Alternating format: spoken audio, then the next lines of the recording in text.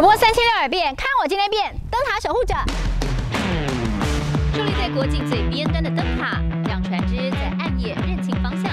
这渔民眼中的光明灯，得靠灯塔管理员让它大放光亮。旋转一千公尺二十八秒两闪。这个红的哈射程是二十海里，这个白白光的射程是二十四点五海。灯不能给它熄掉，因为发生传染啊，怎么样的啊，就危险。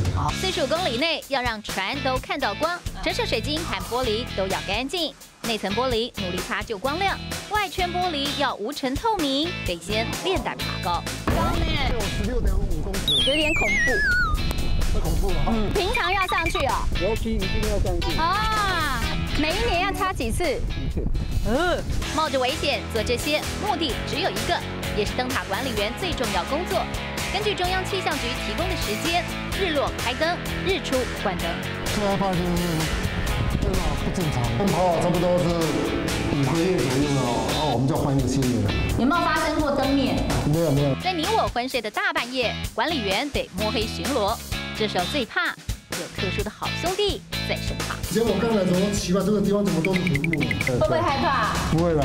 后来不是说一个月都睡不着觉？灯塔管理员的一天最多的就是时间，从干擦的会反光，把杂草除光，连绿地都发亮。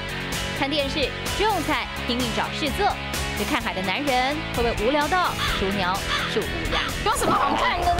在看有时候，你看三十几年了嘞。对啊，看船有没有什么情况，晚上有时候都要瞭望连灯有没有亮。你看邻居有没有打瞌睡？对对。想要成为灯塔的技工，要有基本电学、灯塔知识，笔试过关之后还要爬杆四公尺。